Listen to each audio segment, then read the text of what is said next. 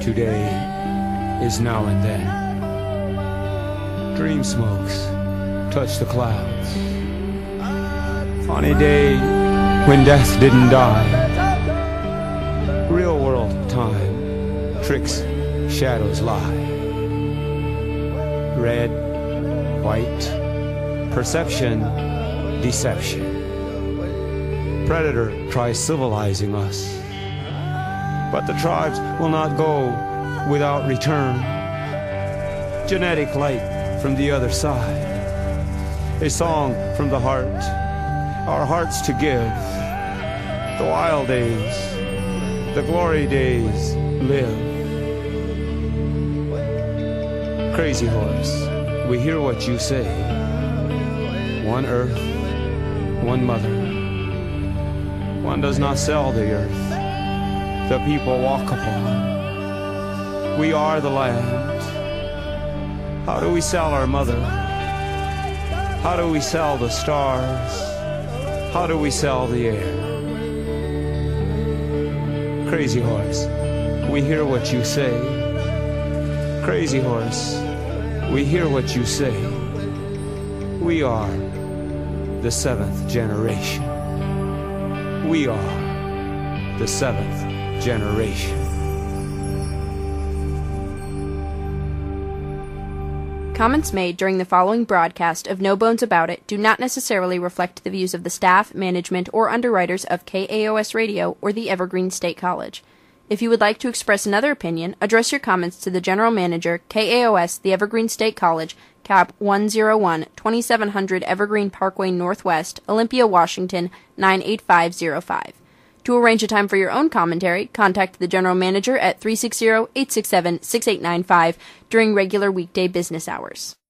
And this is Raven Redbone, and uh, you just heard Crazy Horse um, by John Trudell.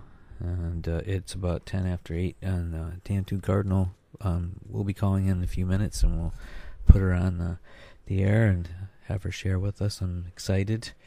And then uh, we have a special guest coming up at uh, five o'clock, um, pulling into the uh, Evergreen State College campus. You'll actually be sitting uh, behind me. I'm excited about that too, and uh, tell you a little bit more about that later. But uh, we'll uh, talk a little bit about um, actually. Tantoo Cardinal is Métis is one of the most renowned indigenous actors in the world. Throughout her acting career, Tantoo has done much to minimize the inaccuracies and stereotype portrayals of indigenous people that tend to infect m- mainstream media, bringing instead a genuine warmth and understanding to her very human characters. So she should be calling in very soon, and um, we'll, we'll have a little chat and um, visit, and I'm excited. Till then, we're gonna just play this uh, song, put it out there, and then uh, around quarter to five, I'll, I got some events to share with you that are happening around the Walsh area, the Salish Um, and this one's called Prayer, and it's Journey into the Sound. And here we go. And thanks for listening.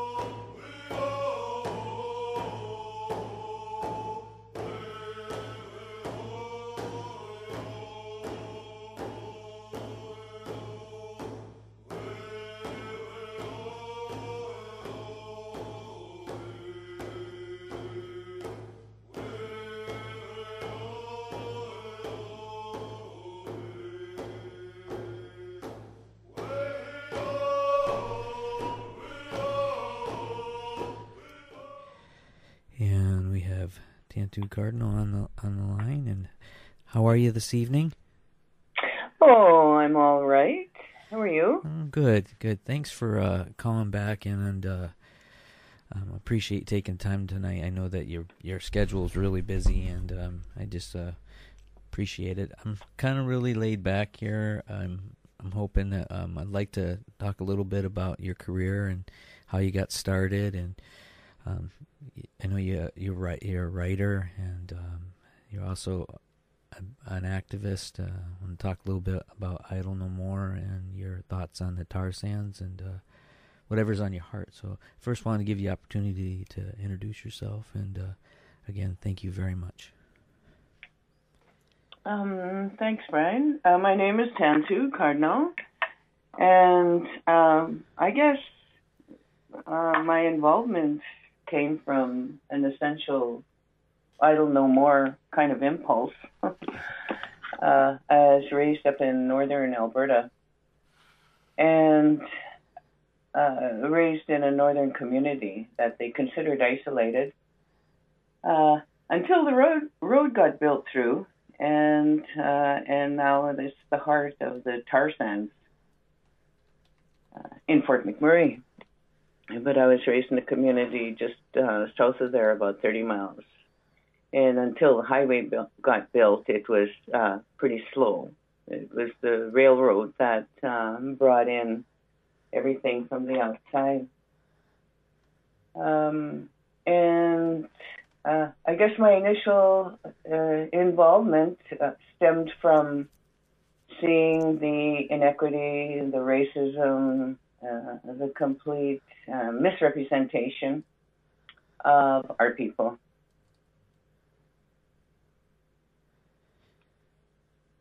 Hello. Oh, I'm listening. I'm sorry. Yeah, and um, I know that. Uh, that uh, I'm really sorry. I was just really attentive of what, what you're what you're saying, and so um, I know that uh, I've been talking to quite a few folks about the tar sands issue it's, itself, and knowing that it's um, I have this in my head. Uh, um, Russ Wheeler was talking about how it's the largest carbon bomb, and uh, and it takes um, two like two barrels of oil to dig in to get one bar- barrel of oil there, and, and then it uh, makes this black lake that that kills the the environment there and the the fish and the the birds and things like that. So it's just um you know um with your your activism is coming up that way, you're um how for us that are that are here in the in the states, how can we help? Um, I know that I've been doing petitions and getting the word up. How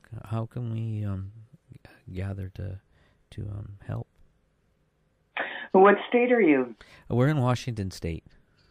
We're right on the Washington. right on the the water, right here. Up in well, Olympia.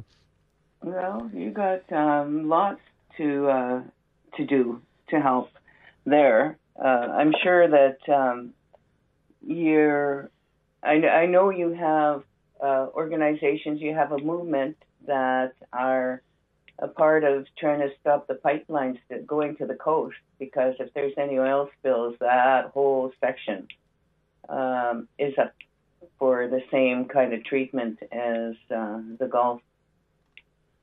If there's any uh, spills, and where they're planning on putting those ships in to pick up that oil is really, really dangerous, precarious uh, in terms of what the shoreline is like, how big those ships are, um, uh, unpredictability of, of weather, and uh, weather is not getting any any milder.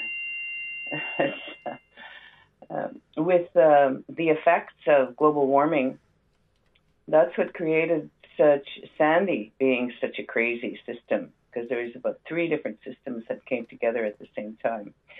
And um, going back to my upbringing, uh, I was raised in the bush basically. It was a very small community. Uh, couldn't even really call it a hamlet, I guess. But uh, being raised by my grandparents and uh, by people who live close to the bush. So I grew up with a sensibility and a, uh, I guess what we call nowadays a relationship with the earth in a sense that we we always grew up and and felt uh, the life of uh, of the earth, and then coming into a society in the city where there's absolute uh, oblivion uh, about the earth, uh, and you know weather was something to you know complain about, and and there was just no connection. So it was a real feeling of desolation when I first got to the city, and and that uh, is a part of what perpetuated huge culture shock and and made life very difficult. Uh, but when I ran into the film business, and I saw on the call sheet that it was marked on there what time the sunrise was, what time sunset was, what the weather was going to be like, what the winds were, all that kind of stuff, right there on the call sheet. And so that made me feel like, okay, maybe this is a part of the society that I'll be able to live with these people. And sure enough, you know, uh, I've built uh, alliances with people that are in the arts, and and uh, that uh, it, it, it's it's kind of a solace, I guess, uh, since I come from uh, a place where, as far as I'm concerned, I'm landless because it's been completely taken over by the tar sands and by the corporate movement of things. And uh, I'm uh, from the Métis, the Métis world. I don't have a reserve. I have to make application to get my treaty status um, to be a part of that land again. But as it is, uh, I'm not.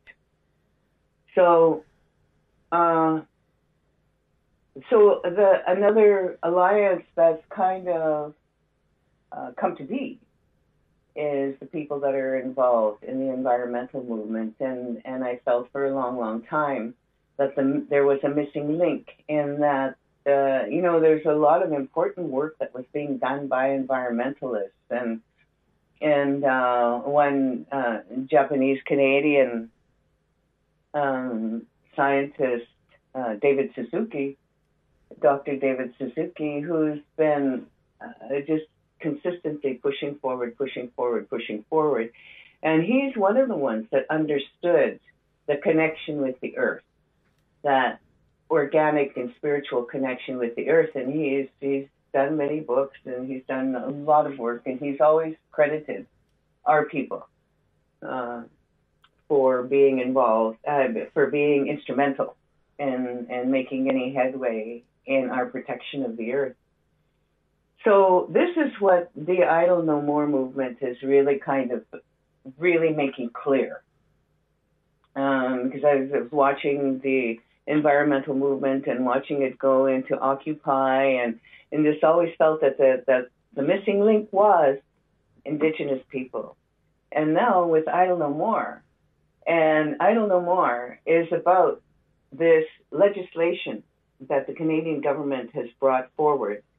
Um, in in many cases, completely diminishing and obliterating environmental protections to water, and also uh, the headway that's been made by Indigenous nations uh, for sovereignty and self government, all of those things. Uh, the, with this new legislation, giving back to the Minister of Aboriginal Affairs uh, this authority that it's been so long. It's been such a process of getting uh, out of the Indian Act and, and getting authority for life decisions back um, to the Indigenous people.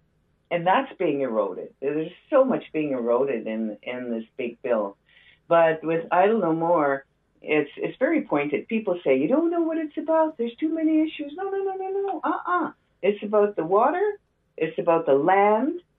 And I guess what confuses people is that it's through treaty rights that these things have to be respected.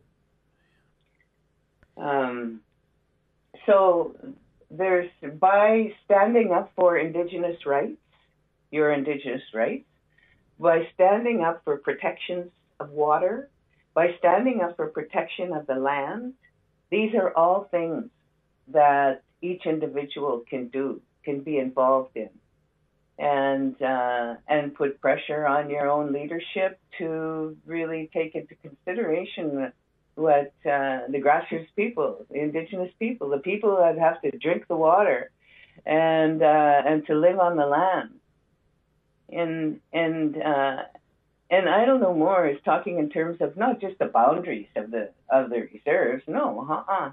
It's the land. It's the planet. And uh, and I, I think that that's it's it's power in that uh, we're connecting with people all over the planet that have been fighting this battle and um, trying to save their water and trying to save their land. I know there's strong alliances with the people in South America and all over the planet. So it's certainly something that anybody can be involved in. It's about protecting the water. It's about protecting the land. Yeah, it's always been about the water and the land.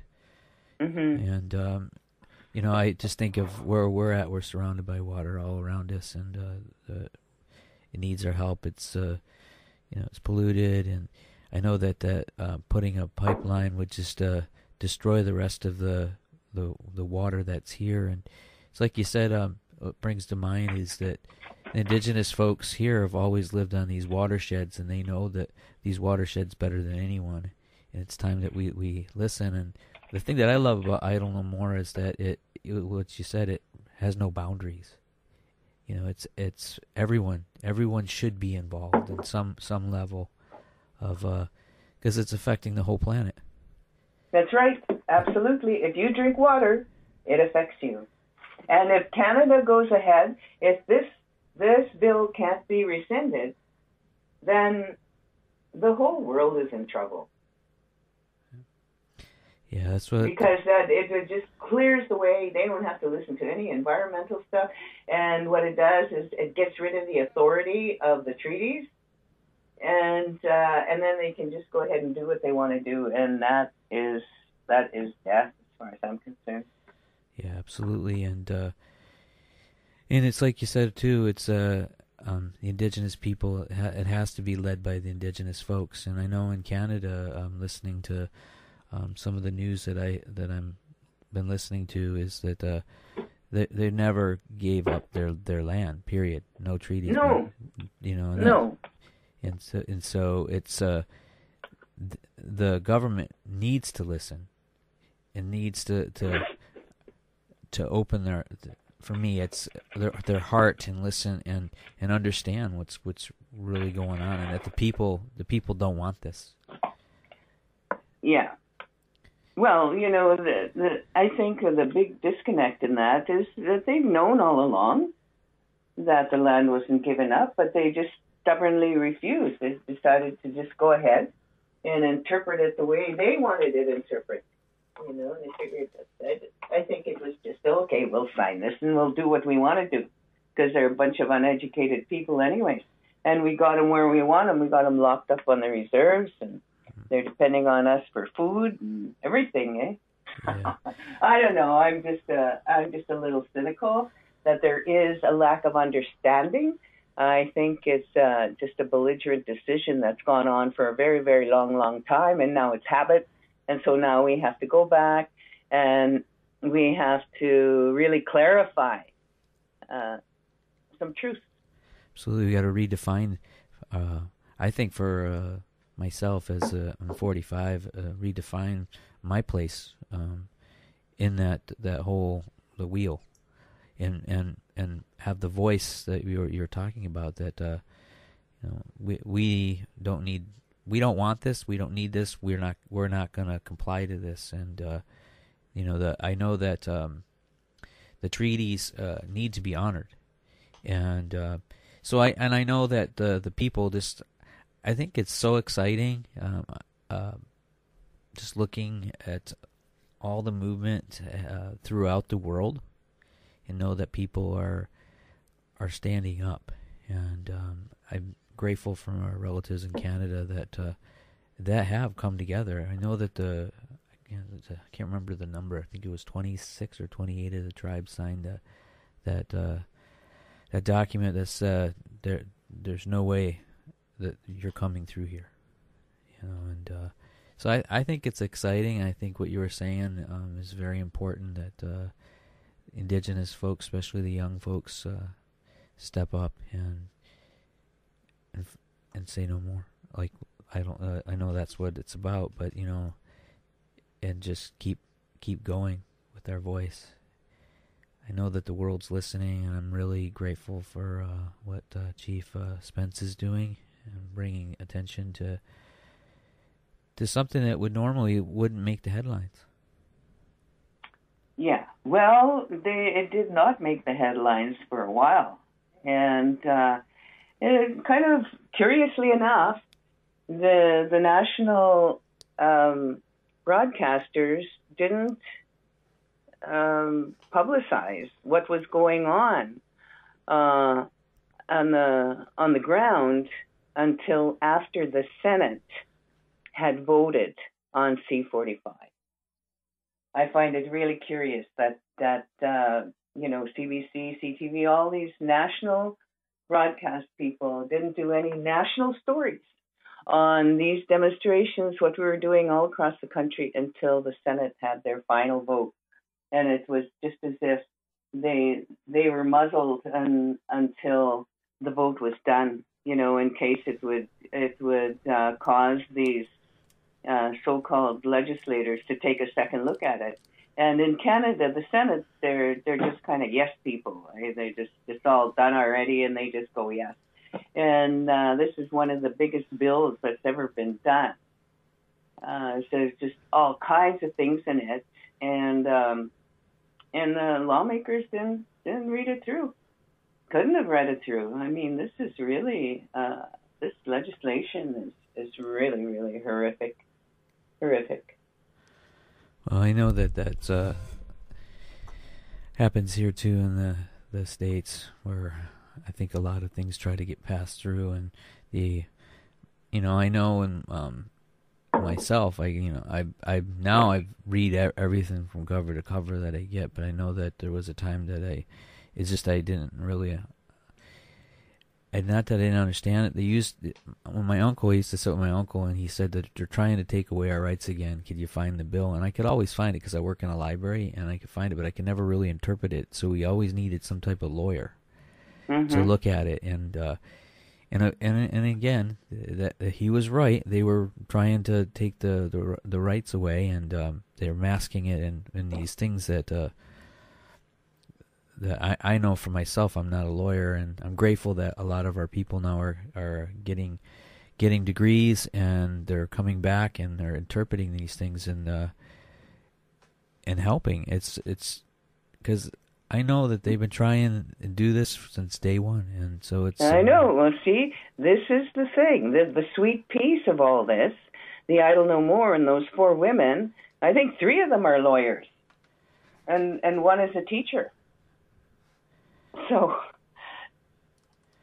yeah. that part is taken care of. You know, uh, uh, you're no longer dealing with people who don't know the language. Yeah, it's absolutely true, and and I know, like, and I think about how over the years of the ancestors, and they bring these documents, and they don't really, you know, know what they're signing, and then they're doing it in good faith, and uh, and then all these atrocities happen. And uh, and and then another thing too, like one of the the women, I I don't know much about the backgrounds of the other ones, but uh, I know Sylvia McAdam. She also comes from the traditions and from the ceremonies. So, you know, we got double edged. We got a double edged sword going on. I think it's awesome. So, just um, coming back to your your career, I uh, just wanted to talk. How did how did you get involved in film and how do you how do you pick your your roles? You you see your roles are amazing that uh, you seem to uh, discover. They discover you. How does that happen? Well, it's uh, I've, I've really had kind of a blessed path. Um, I don't know if you heard anything about um, a, a, a court. I don't even know what the, the legal terms of it are, but in Canada last week, the Métis and non-status people um, got. Uh, oh, geez, I wish I could. Uh, I could know what the word is, but we're instated into the Constitution, and um, a late heart brother of mine um, was involved politically in that process, and in getting um, Métis and non-status people involved in the uh, incorporated into the Constitution and uh, the amendments that were being made in the in the 80s. And uh, so, actually, it was he that was cast in a docudrama in CBC back in the early 70s, like maybe 70, 71 um, because I none of us knew that he had a theater background. And uh, here he was uh, cast in this, and he put my name down as somebody who could come in and and play one of the roles. And uh, he put two of our names down, and the other woman didn't show up. So I ended up getting the role. This was uh, at a time when Canada was trying to strengthen its culture because the U.S. was pretty well taking over everything. I mean, everything that was on the air and television and radio, magazines, and, and taking buying land, taking over land and businesses, and and so uh, Trudeau came in and, and decided to strengthen the Canadian culture and he poured a bunch of money into the arts and communications and, and all kinds of other things and bringing about this Canadian content ruling where a certain percentage of everything that was aired had to be Canadian. So uh, within that was this germ of thought. Uh, they had to do Canadian stories. Well, why don't we hire Native people to play Native roles? So Harry got a role that way, and he put my name up because I was kind of involved politically, you know, with the Native youth. And he knew that uh, I would stand up in front of a crowd and and say things. So he figured that uh, maybe I'd be good at this, I guess. Mm-hmm. So he put my name down, and uh, and that was it. And I was looking for some place that I could make a contribution anyway, since I barely made it through high school. And uh, and so that's what happened. And uh, all the roles that have come my way, uh, you know, I mean, there's some that I turned away and and uh, wouldn't be involved with, but I've been really blessed with uh, the things that have come my way, and uh, and it, it was not.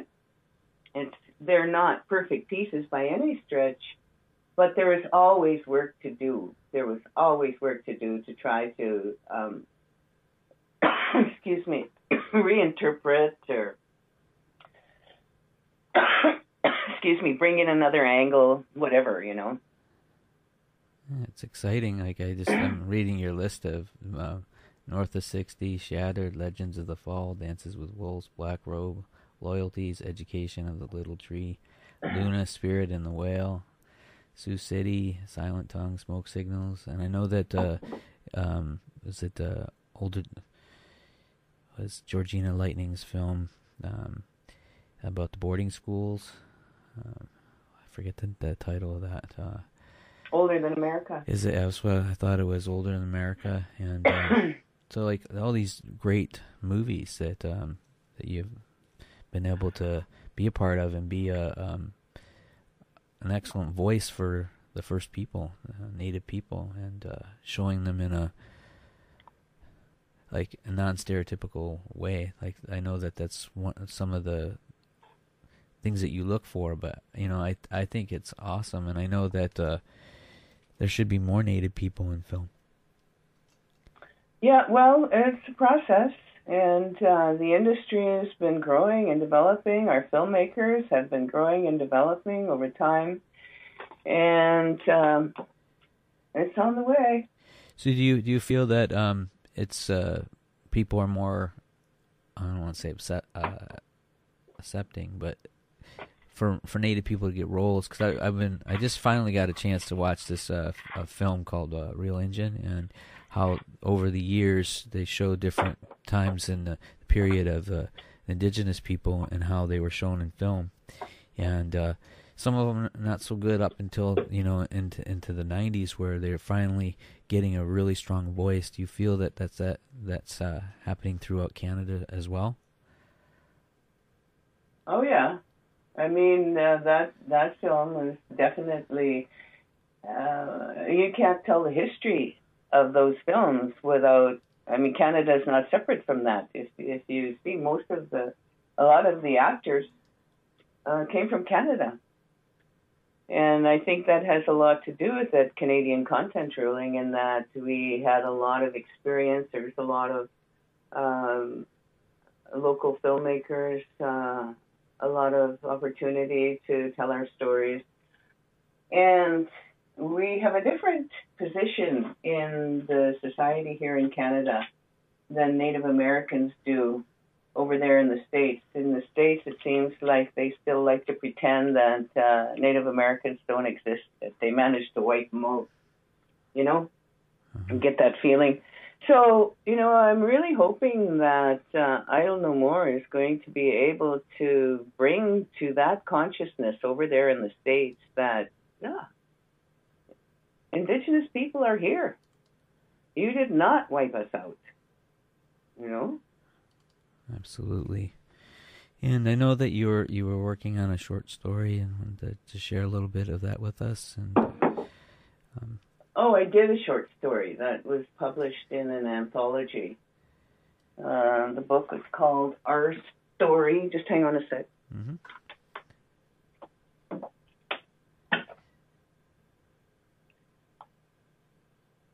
The book is called Our Story Aboriginal Voices on Canada's Past. And uh, and if you know your way around, I don't know if they'd have any of this in uh, in U.S. books in libraries. I kind of doubt it, unless they've got a really advanced um, uh, Indigenous book section. Let's see, one, two, three. Let's see.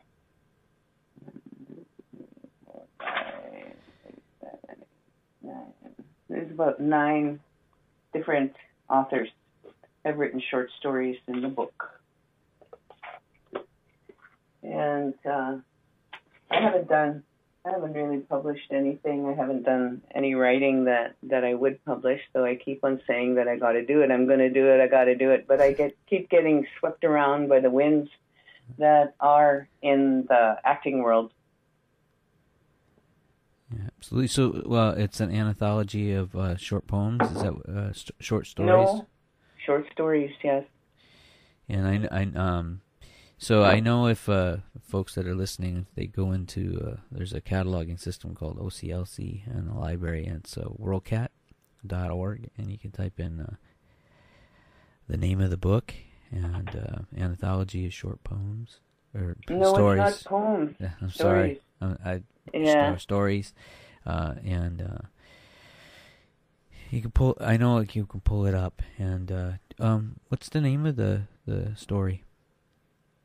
My story? Yeah. Is um. It is. There is a place. So you, you type that in, and I'm sure that you can pull something up. And uh, if people wanted to to get a get a hold of a, a, the book, where would where would we be able to find that? Well, this is what I don't know. I mean, uh, it's published by Random House of Canada. Okay. So we can go into that website. I'll I'll I'll, I'll uh, poke around and then I'll I'll put a link out on uh, Facebook and on my on my blog. Our story: Aboriginal Voices on Canada's Past. Okay. And uh, we got about uh, you know ten minutes or so. I just wanted to, if there was something on your heart that you wanted to share with us, uh, uh, our relatives here, and uh, I again I appreciate all that you do for the people and and your constant. Uh, you're just really consistent, and you're out there, and you share with your heart, and you uplift the the folks. I, I know when I was telling people that you were going to call in and share with us tonight. They were real excited and they were hoping oh, that I hope we record it. And uh, I said I will, and I'll put it out there. but it's just that uh, I know for myself, because uh, uh, I'm a, a, mixed blood person myself, and my grandfather was from the St. Regis area of Quebec in that area. Mm. So um, I appreciate um, your voice. So thank you. Mm-hmm. Thank you. You never know, you know. You're just going out there because you're here, right? Alrighty. So again, I appreciate you taking time. All right. All right. So is that it? Yep. Yep. Okay. Well, all the best. All right. Same to you, and keep in touch. And uh,